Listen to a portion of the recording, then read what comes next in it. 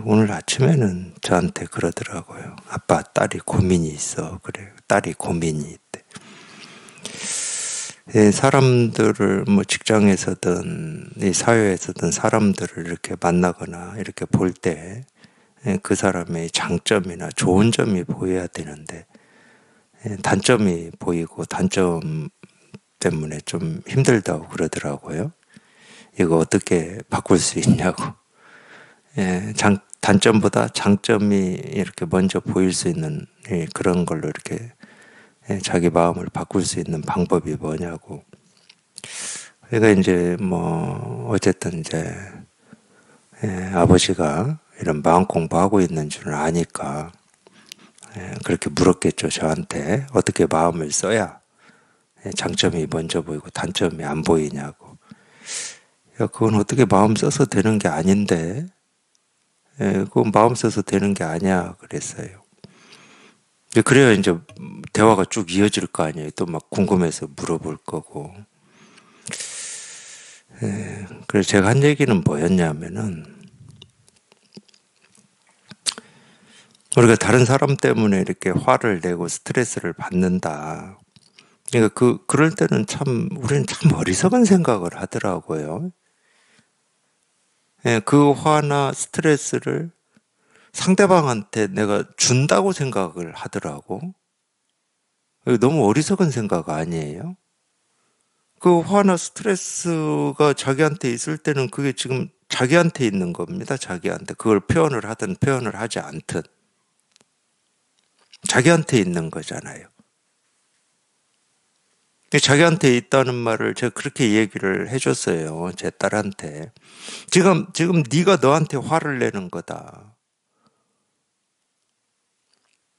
근데 우리는 입으로는 또는 생각으로는 이게 나기 때문에 나는 소중한 사람이고 존엄한 사람이고 이 사랑스러운 존재다라고 생각은 그렇게 하는데 정말로 자기 스스로가 소중하고 존엄하고 사랑스러운 존재다 그러면은 이 사랑스러운 존재한테 막 화, 스트레스, 미움, 원망을 막 던질 수 있겠습니까? 그럼 뭔 얘기하고 똑같냐면 자기의 이 소중한 아이 있잖아요, 아이. 아이한테 그냥 계속 화를 내고 스트레스를 막 퍼붓고 너는 미운 놈이야 원망하는 거하고 똑같은 거예요. 근데 우리는 어리석게도 그거를 남한테 상대한테 표현한다고 생각해요. 자기를 지금 갉아먹고 있다고는 상상도 못 해보는 거예요. 한 번도 그 생각을 못 하고 삽니다. 분별하고 살 때는. 그래서 그 이야기를 사실은 이제 오늘 좀 했죠. 그 이 말이 그 말입니다. 예, 그런 경계가 마음을 가로막고 있다고 착각을 해가지고 그 경계를 어떻게 해보려고 하는 게 예, 화를 내고 스트레스를 막 표현하고 이렇게 좀 하라고 그러고 저렇게 좀 고치라고 하는 그거거든. 예, 세상에 대해서도 우리가 그러잖아요. 세상이 이러기 때문에 문제가 있기 때문에 내가 이 세상에 막 분노도 하고 화도 내고 막 이 세상이 왜 이렇게 안 되는 거야 해서 그렇게 하겠다고 하는 사람 막 뜻을 쫓아서 같이 좀 예, 힘도 써보고 이러, 이러잖아요. 자기 마음에 그런 분별이 있고 병이 있어서 세상이 그렇게 보인다고는 한 번도 생각을 못 해본 겁니다. 근데 아무리 좋은 거라도 내가 생각하는 게 아무리 좋은 거라도 지금 내가 기대하고 바라는 만큼의 세상이 아니고 또는 이 상대가 그 정도가 안, 안 되고 내 삶이 그 정도 안 된다고 자기 스스로한테 예, 화가 일어나고 스트레스가 일어나고 미움이 일어나고 원망이 일어난다. 아무리 좋은, 좋게 바꾸려고 예, 그런 마음을 쓴다 하더라도 그건 자기를 자기가 학대하는 거잖아. 그 일이 이루어지기 전까지는 무조건 학대하고 있는 거잖아. 그게 정상적인 삶입니까? 아니, 자기 존재를 자기가 부정하는 거잖아. 그게 정상적인 살, 삶이겠냐고. 그러면서 입으로는 맨날 나는 행복해져야 돼, 자유로워져야 돼, 그래. 아, 자기가 그 행복과 자유로움을 자기가 가로막고 있으면서 자꾸 밖에 있다고 그래, 밖에. 세상에 있다고 그러고, 저 사람한테 있다고 그러고. 그게 경계가 마음을 가로막는다라는 표현이에요.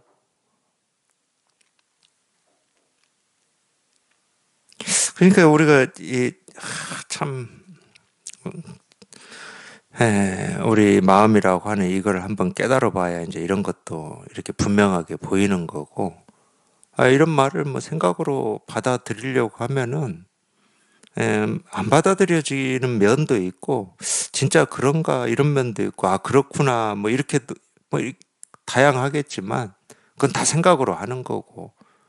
한번 이, 이, 이 우리 마음 본래 마음이라고 하는 이게 한번 이렇게 확 하고 이게 실감이 돼야 아, 이런 부분이 이제 자기 입에서 나와요.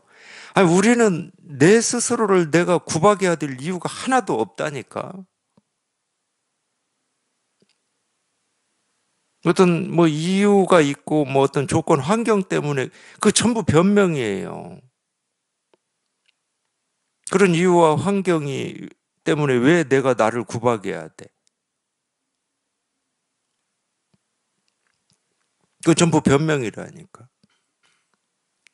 그러니까 이, 진실이 이, 게 한번 이렇게 실감이 돼야 돼 이게. 이게 실감이 돼야 이 뒤집어진 그러니까 예, 전도 몽상이라고 그러죠. 중생을 전도 몽상이라고 그러잖아요. 뒤집어진 허망한 생각이다.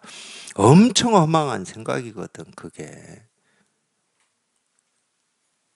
그러니까 이 얘기는 다른 말로 하면 우리는 평생 말로는 입으로는 생각으로 나는 소중한 이 사람이다라고 끊임없이 하고 살았지만 자기를 한 번도 사랑해 본 적이 없는 사람들이에요. 어떤 게 사랑인지를 몰라, 실은.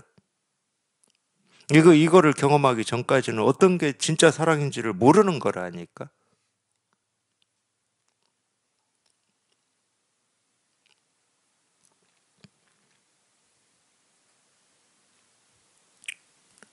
아, 그 경계가 환경과 조건이 마음을 가로막고 있는데 어떻게 알겠습니까, 우리가? 이 마음은 어떤 조건과 환경에 따라서 뭐 오염이 되거나 뭐 깨끗해지거나 더 나아지거나 더 못되거나 이러지를 않거든. 허공하고 똑같아요. 허공이 뭐 화산이 폭발하고 번개가 치고 천둥이 몰아치고 뭐 비가 내리고 찬바람이 불어온다고 허공에 무슨 뭐, 이 생채기가 납니까, 허공이? 거울 비유를 하는 이유도 마찬가지거든. 거울에 온갖 모습, 그 온갖 모습 중에는 내가 정말로 싫어하고 미워하고 원망하는 모습도 있고 좋아하고 존경하고 사랑스러운 모습도 있겠지. 그런다고 이 어떤 모습이 생기고 사라진다고 해서 거울에 무슨 생채기가 있고 거울이 더 사랑스러워지고 그런 일이 있겠냐고. 우리는 한 번도 경험을 못 해본 거야.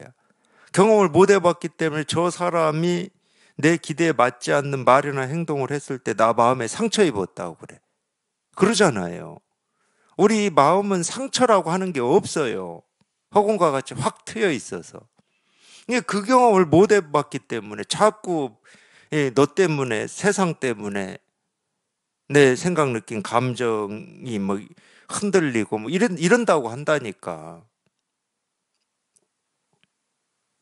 한 번도 경험을 못 해봐서 그래요. 이거를, 이거를.